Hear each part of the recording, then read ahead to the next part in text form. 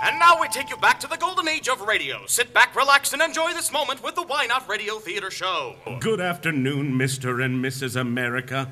To all our listeners from coast to coast and sea to shining sea, here's the headlines in the world of art, culture, and business.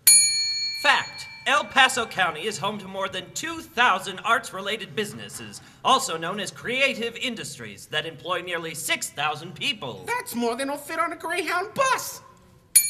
Fact Creative industries are the fifth largest employment cluster in the state of Colorado, and the state of Colorado ranks fifth in the nation in concentration of artists. Be quiet. We're concentrating.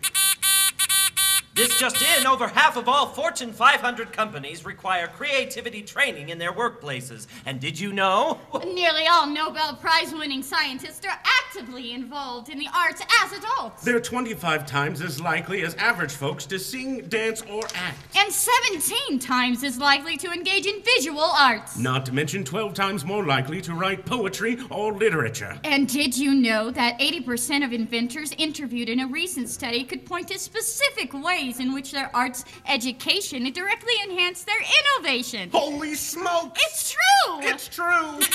You know, a survey by the Conference Board finds that employers ranked creativity and innovation among the top five most important workplace skills for the future. Ooh.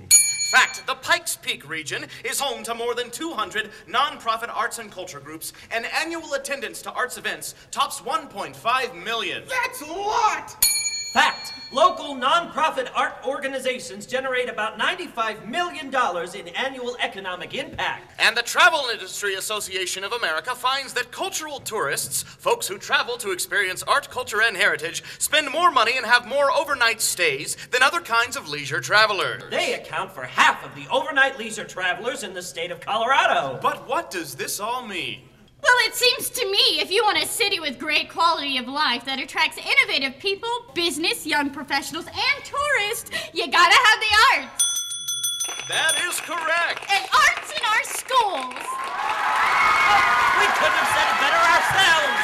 And now a word from our sponsors over on stage one. Your host for today, from the Colorado Springs Chamber of Commerce, President and CEO Dave Csintyan. And from COPPeR, the Cultural Office of the Pikes Peak Region, Executive Director Christina McGrath.